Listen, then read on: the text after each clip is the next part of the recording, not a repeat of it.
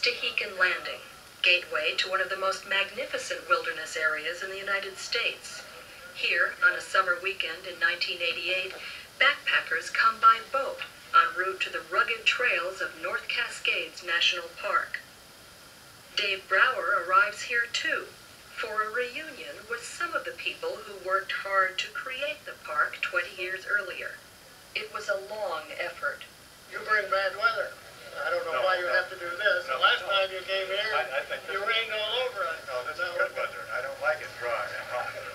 1956, Grant McConnell was a college professor who spent summers in Stehekin.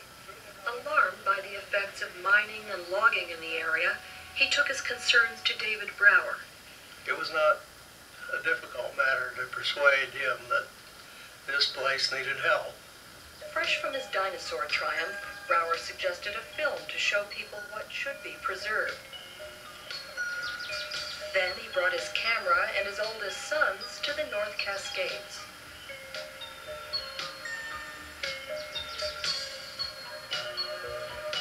We used to always complain, my brother and I, because we were sort of pressed into service as models in these movies. We'd have to do this the same routine three or four times to get it right. Brower's boys and Grant McConnell's daughter starred as every child who might someday enjoy these mountains. Up where the tree reaches high with the cloud, where the flower takes the summer wind with beauty, and the summer rain too. They will want to discover for themselves the wildness that the ages have made perfect. I myself showed that film at least a hundred times and always had large audiences that were just enthralled with it. And I was always convinced that they were going right home to write their congressman. The battle continued into the 60s. Timber and mining companies proved powerful adversaries. As hearings on the issue approached, Brower looked for yet another way to persuade a reluctant Congress.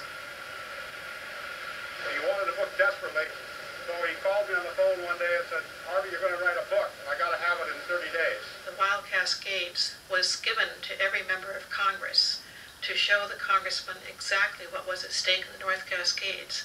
And I can't help but think that had a major impact One of the principal saviors of this country. All right, yes.